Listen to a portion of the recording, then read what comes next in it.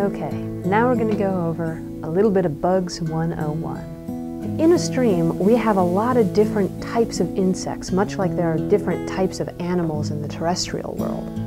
We have shredders, insects that eat detritus such as leaves or twigs. We have collector-gatherers that actively search out food particles in the water column. We have filter feeders that build nets or have some kind of body designed to filter materials out of the water and feed off of those.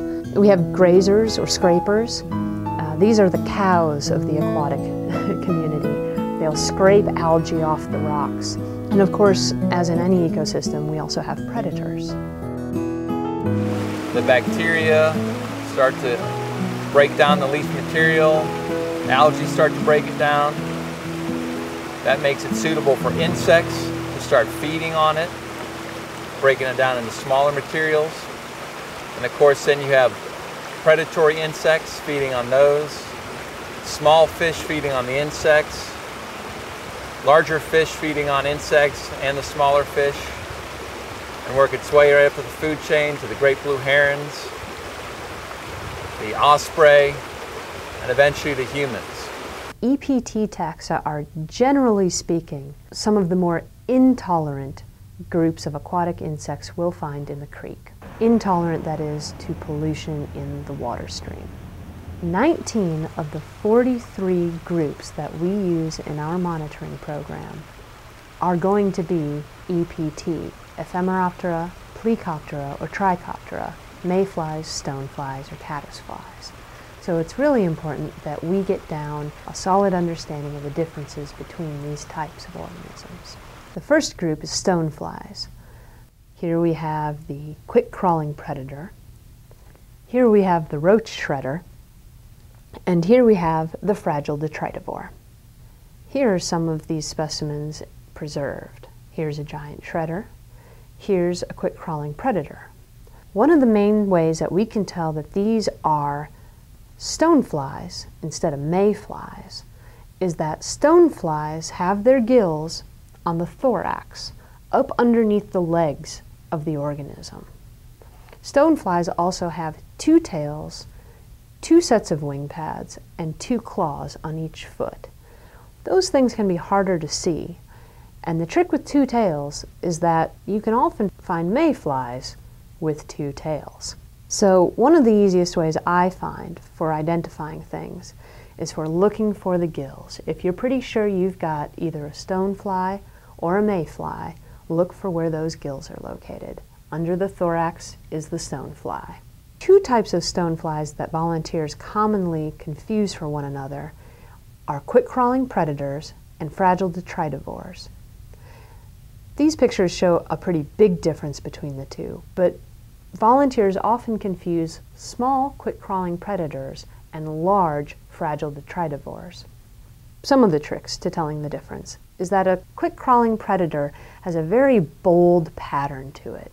They're also very quick. When you open up your net and something goes crawling off, it's almost certainly was a quick-crawling predator. They're quick, and they crawl. Fragile detritivores look much the same, although they're generally smaller, they also are more bland in color. They have much more fragile bodies, and when they're swimming in the water column or maybe crawling along the bottom of your ice cube tray, they kind of move gently back and forth and almost kind of like a snake going through the grass. Quick crawling predators are more robust and they're going to be crawling quicker rather than kind of sneaking along the edges. The next group is mayflies. We've taken 16 families 238 different species in the southeast, and we've boiled them down into six different groups. In general, these critters are going to have three tails. But remember that some types of mayflies will have two tails. The other thing that can happen is that it's kind of a rough world out there in the aquatic jungle, and sometimes one of these guys can lose a tail. Sometimes a stonefly may lose a tail too, so the number of tails is not always the best way to figure out what you're looking at. One good rule of thumb is if you have three tails, you're almost certainly looking at a mayfly. If you have two tails, you have some more work to do. Mayflies have one set of claws, one pair of wing pads, And they also have those gills on the lower part of their body, down on the abdomen. Here's an example of a flattened scraper mayfly, the two-tailed version. Here's another set of mayflies that volunteers commonly misidentify for one another. This is the round-headed swimmer and the spiny crawler. Spiny crawlers and round-headed swimmers' bodies are shaped much alike to each other, so it's hard to just look at the shape of the head and the location of the eyes and the number of tails and figure out what you're looking at. You know you're looking at a mayfly, because these guys have three tails. They both have eyes on the sides of their heads, they both got gills on the lower part of their body, but they look a lot alike. The round-headed swimmer is going to have a very streamlined shape to it. It's going to have fragile little legs. It's going to be torpedo shaped. It's built for swimming through the water column. And when you pull them up out of the net, they're not going to be moving hardly at all. When you stick them in the water, they may be shocked, they may be stunned for a while, and when they come to, they're going to be swimming around in that little pool very, very quickly with an undulating motion. This is a round-headed swimmer mayfly. Very common. We see very small, might be hard to see, but it helps to have a hand lens. This is one of the taxa uh, that gives volunteers a lot of problems. And one of the ways it helps identify them is just the way they swim around. Spiny crawler also swims with an undulating motion, but it has thick legs and it's built for crawling. It'll start swimming, but it's not going to get anywhere too quickly. It kind of looks like a rocking horse, just rocking in the water column trying to get somewhere, and it's not doing a very good job because it's meant for crawling, not swimming. Seeing them alive and comparing two to each other is one good way of getting used to identifying the difference between a round-headed swimmer and a spiny crawler. Here are some other friends from the mayfly family. Here we have the spiny turtle. And here we have a burrowing mayfly. Moving on to caddisflies. Caddisflies, we've taken 18 families, 544 different species, and worked them down into nine different groups. They're less likely to be confused with mayflies and stoneflies because they're more wormy in their stature. There are two basic kinds of caddisflies that we're going to find free-living caddisflies and cased caddisflies. Cased caddisflies build a variety of different types of homes that they live in, whereas the free-living caddisflies do not. Here are the two types of free-living caddisflies, the net-spinning caddisfly and the small-headed caddisfly. The best way to tell the difference between these two is to, again, look for the gills, which look like feathery little appendages on the underside of their body. If you look and you find feathery little appendages on the underside of a wormy looking critter like this, a wormy looking critter with legs, so you know it's not a worm. Uh, if it has feathery appendages, if it has gills, that is a net spinning caddisfly. If you look and you look and you can't find gills, you've got a small headed caddisfly. Here are some examples of cased caddisflies. Here is a stickbait caddisfly. We don't count cased caddisflies that we find outside of their cases. Here's a log cabin caddisfly, square log cabin caddisfly. Vegetated caddisflies come in a variety of different forms, but basically what we're looking for is what is this case made out of? Is it made out of sticks in the shape of a bunch of sticks lumped together, like the stickbait caddisfly? Has it made square little houses out of tiny little sticks, like the square log cabin caddisfly? Is it made out of vegetated material? That we call it the vegetated case caddisfly. Then we have different types of mineral cased caddisflies. If you find a mineral cased caddisfly, chances are you either have a gravel coffin case or a sand and mineral case. The way to tell the difference is that the sand and mineral cased caddisfly uses sand and mineral of roughly an even sized. The gravel coffin case caddis is going to have larger stones on the side, kind of ballast stones off to the side. That's how you know you've got a gravel coffin case caddis instead of just a regular sand and mineral caddis fly. You also might pull up a number of different types of beetles. In this category, you'll find water pennies, which most people can readily identify once they see them a time or two. You might have adult riffle beetles, and then you might have predator beetle larvae, which are small and will probably take a bit more practice to be able to identify. And you might also find some larval riffle beetles, which are very small predaceous beetles, very, very small. These might be confused with caddisflies, but they're dark and they have these types of plates which allow you to discern them from different caddisflies. Megalopterans.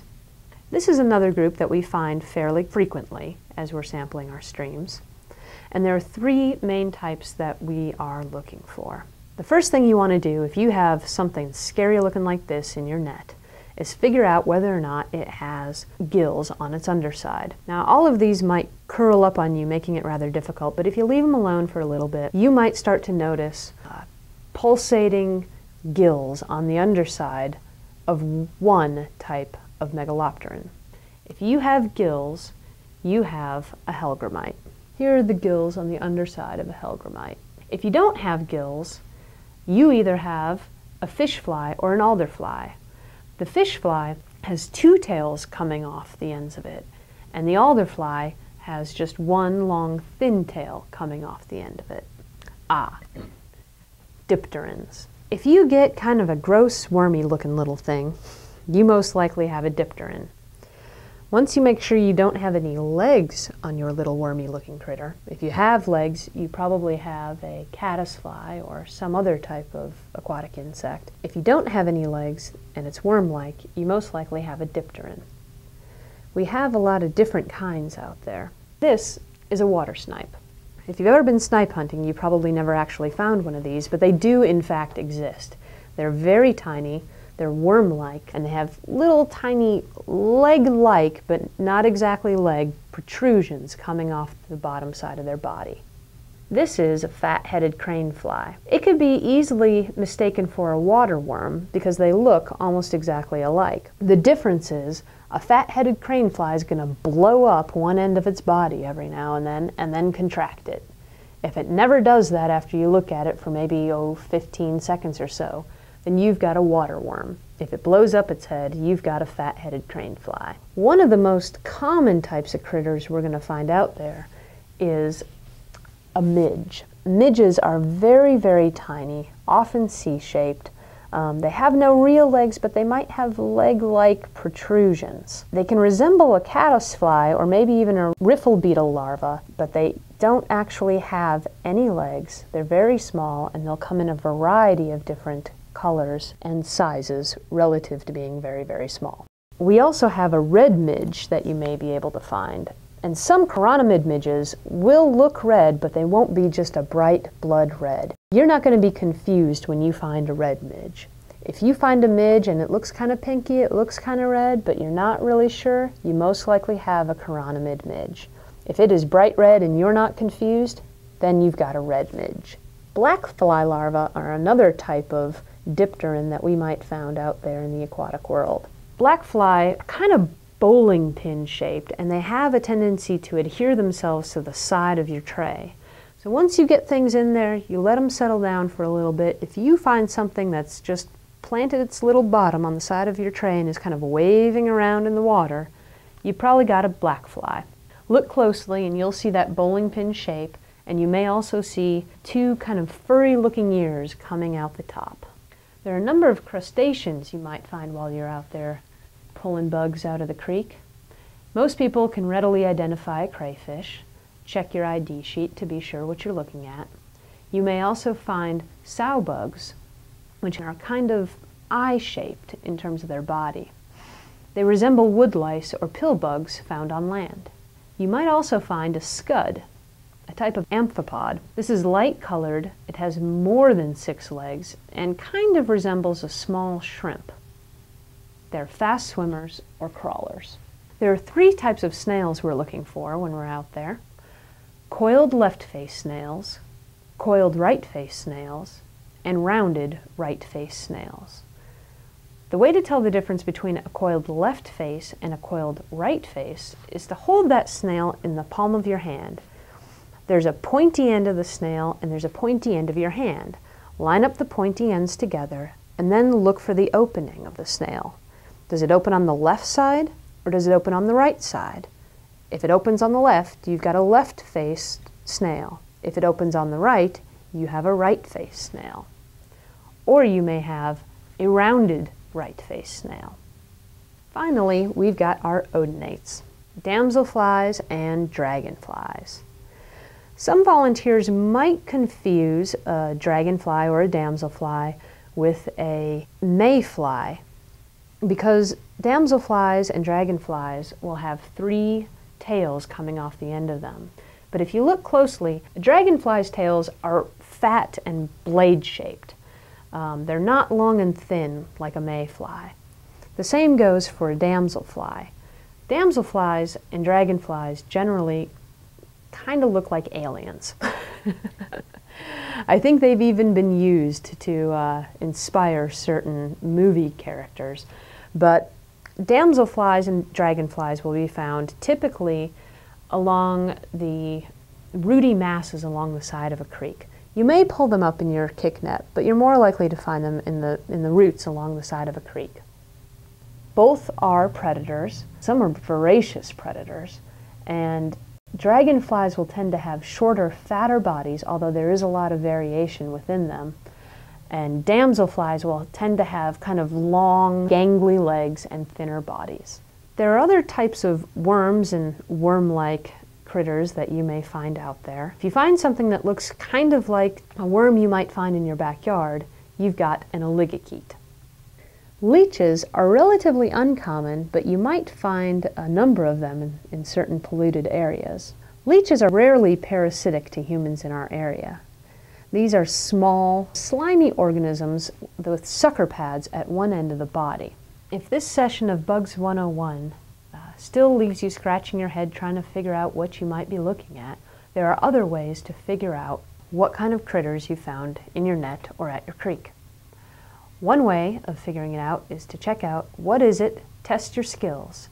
Click the picture to find the answer.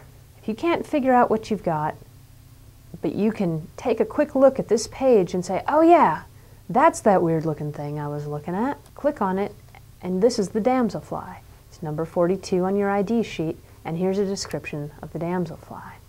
Then you can go back and try to figure out something else that you might be confused about. If checking out your ID sheet and looking for your critter on what is it test your skills still leaves you scratching your head trying to figure out what kind of organism you're looking at, you can also go back and try to key the macroinvertebrate, how to make an identification, which will lead you through a step-by-step -step to identify your organism, a kind of choose your own adventure for aquatic insects.